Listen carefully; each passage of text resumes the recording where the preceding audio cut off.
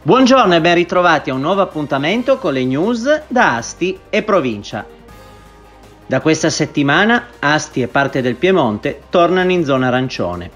Il ministro della Salute Roberto Speranza ha confermato che il Piemonte, a partire da oggi, passerà in parte in zona arancione, ma ha anche segnalato che in due province l'incidenza è ancora sopra la soglia di allerta. Si tratta di quelle di Torino e Cuneo, per le quali, alla luce del nuovo decreto, andrebbero mantenute misure più restrittive fino all'abbassamento dell'incidenza sotto i 250 casi su 100.000 abitanti. La provincia di Asti sarà invece nella parte del Piemonte dove si allenteranno le restrizioni anti-Covid. Matteo, l'ingegnere astigiano che sta progettando le serre per Marte.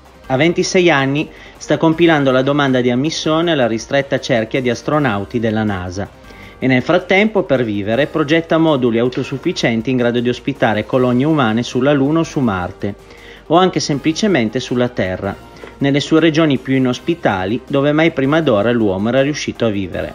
Promette davvero bene Matteo De Vecchi, il neoingegnere aerospaziale astigiano che sta applicando nel lavoro esattamente quello che ha studiato al Politecnico di Torino e sul quale ha portato la tesi. Prima giornata del campionato calcistico di eccellenza nel segno delle squadre astigiane. ASD Asti e Canelli vincono entrambe con il minimo scarto per 1-0 e iniziano nel migliore dei modi il proprio percorso nel torneo. La formazione biancorossa di Montanarelli domina nel secondo tempo contro il Cornegliano Roero, ma trova il gol solamente nel primo minuto di recupero grazie a una formidabile girata in acrobazia di Piana. La squadra di Gardano invece vince in trasferta contro la CBS grazie a un sigillo al volo realizzato da Lorenzo Simone.